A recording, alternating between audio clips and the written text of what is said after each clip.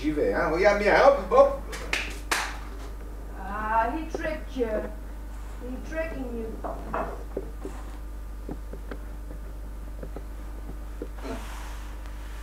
Moi, je trouve qu'il est derrière l'oreille de Myria. Mais non, hein.